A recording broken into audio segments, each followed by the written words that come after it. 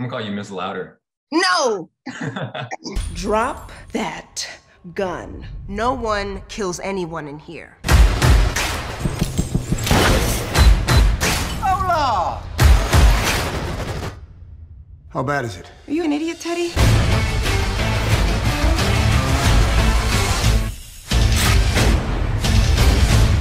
Hey, Miss Louder, it's great to meet you. My name is Kurt. I don't know if you remember me. Uh, we were introduced by our mutual friend Hamilton. Oh yes, yes, that's Yes, that's right. We also have another mutual friend, Gerard Butler. I don't know that guy. Who, who is he? All right. So um, Alexis and I, we've known each other for a few years now. Uh, you're here in Atlanta. Let's actually tell people who Hamilton is. Hamilton is my Great Dane puppy, and he's my little ball of joy that makes me so happy. Or maybe more truthfully, you are Hamilton's human. this this is true. This is true. Um, all right, so I, I guess I could ask you questions about Hamilton this whole time, but maybe we should talk about the movie. Uh, I just watched it last night. I thought it was awesome. It- what a fun movie to be a part of. What, what do you what do you stop me? for? No, I only agreed to talk about Hamilton. Oh, okay. Well, we can talk about Hamilton.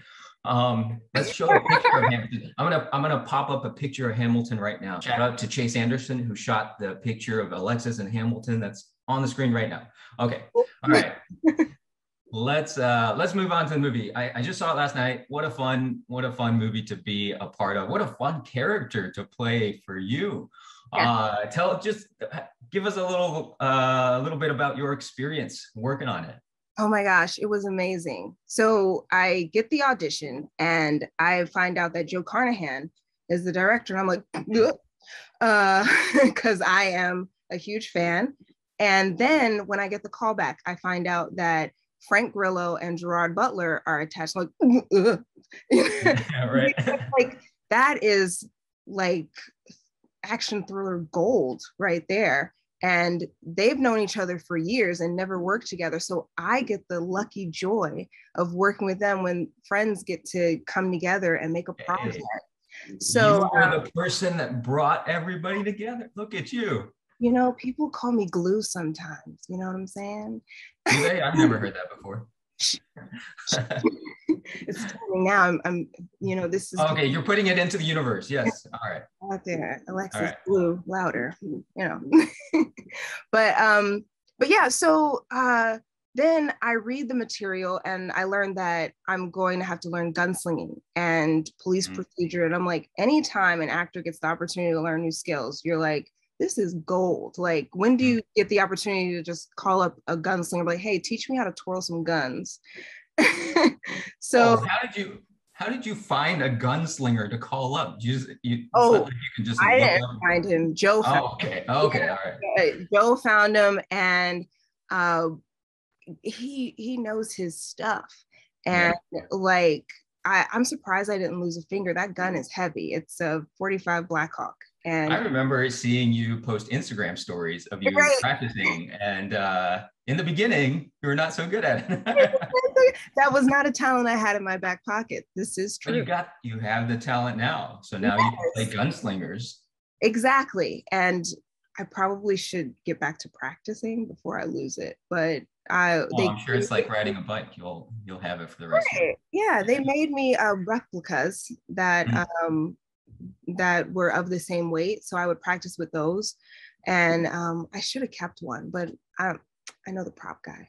Yeah, I'm sure you could get one. So one thing I, I did want to ask you about the gunslinging. Are you actually left-handed? no, You're not. I So and and it was a it was an important part of the story to have Valerie be left-handed, and that's why you you had to learn how to do everything left-handed for this. What happened was I was practicing the twirling and realized that I was better with the left hand than the right. And I said, Valerie's left-handed now. Really? yes it was a it was the weirdest thing i was like i was doing i was doing the twirls with the right hand and i was like and then I, because i knew that there were going to be times where i switched because they want uh joe wanted me to be ambidextrous Okay. and they were going to do a belt that was right-handed Hmm. but i was like you know what let's just switch it all because um because this is going to look better for camera too because there are a lot of angles uh, that worked well for the left hand Oh, that's awesome. yeah So again, like you made the whole thing come together by switching i hands. mean you said it There you go. Um, so uh, I, I also wanted to talk to you more about this this character of Valerie because she's super cool, and and not just in this movie, uh, but you've played some other cool characters like leading up to this, like in the Tomorrow War and in Charmed, Teenage Bounty Hunters. You like you've played a lot of like cool badass characters. Are you how from a scale of one to ten? How much of a cool badass are you in real life? on a scale of one to 10, I'm a 12.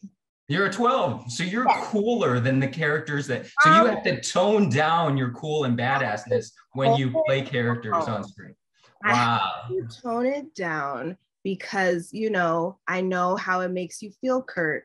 You know when I just walk in with my badassery. So I'm like, let me, let me Yeah, chill on right. You know what I'm saying? no, I'm more like a three. like Valerie definitely gets her confidence from me, Mhm. but the ability to walk into the situations that she's presented with and just be like, um, I'm not gonna wait for the FBI or the CIA. I'm gonna handle this myself. Um, Right. that takes some chutzpah. And I don't know if I have that level of badassery, but you know, she's um she's got something, you know. She has an insatiable thirst for justice. And like Yes. she is persistent in keeping the bad guys behind bars, making sure that she rights the wrongs, and she's gonna get to the truth. And that's very clear throughout. As the movie progresses, you can see that she is not going to stop. No. Not gonna for Not at anybody. all. Right.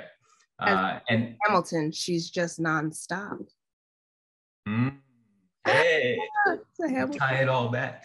Uh, So, uh, really quick, I do want to ask you because you had mentioned you auditioning for this earlier. What was the audition process like, and like what connected you to uh, Valerie's character when you first read read it?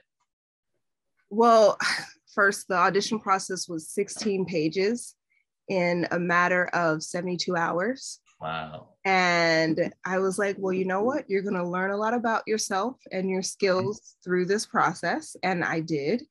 Um, and what I loved about Valerie was that she was a woman that she was a rookie. So she didn't know everything. And we didn't want her to be a know it all.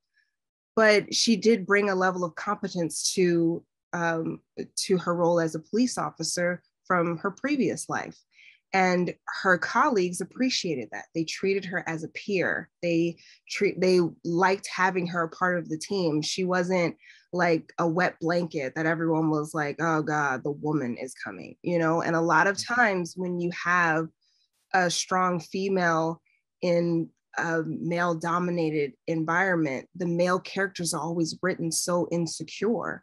So I, I really appreciated that that she she had a nucleus to rely on and it makes you care more as the story goes on with the the things that happen with the other cops Yeah, not to not to give anything away, anything away.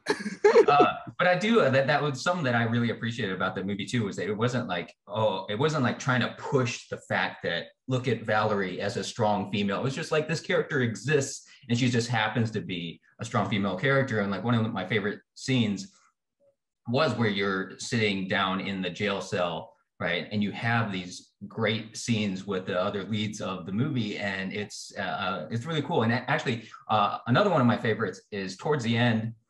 The scene I'm trying to not to give as um, too much of it away, where you're just you're sitting in the chair for a good amount of time, having that long conversation, more or less a monologue. And I was thinking like that would be a great scene to have in acting classes for people, because what a, a fun scene that was to shoot. I I love tackling that scene, and Joe had um, a soundtrack playing.